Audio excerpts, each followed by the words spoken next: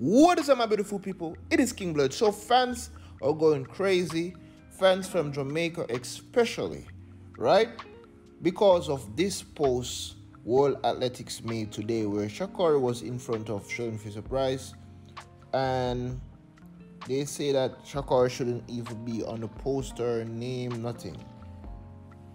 And they're saying that World Athletics this Shelly-Ann Fraser-Pryce. Well, you know the king is here coming to clear up the air.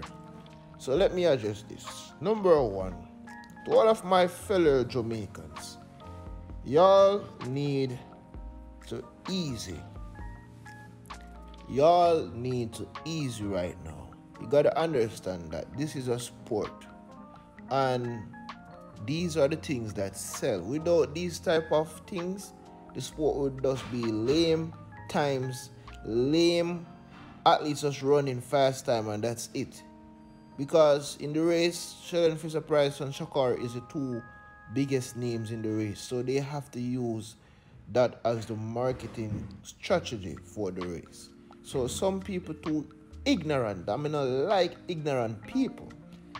The persons who are ignorant, I do not like. Me I tell God Almighty truth.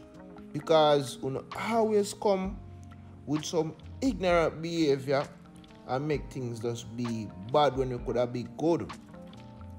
World Athletics not this Shelly-Ann Fraser-Pryce. World Athletics honor Shelly-Ann Fraser-Pryce. In fact, always post her up so she's the legend and all of that. So oh because of that little poster and I say them this are come on man. Come on man, general star.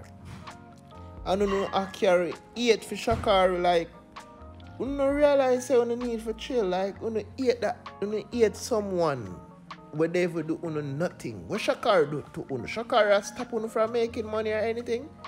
I don't know I carry eight fear man. John was started hurt me more while and I see some people just go on man. That's why you see the world still is still. because most people mind doing good man. Too much corruption. Me have to burn in the note in this man. John a long time me I hold on you know but I could take it, man. Stop with no corruption, man, and just do the right thing, man. Cha-cha.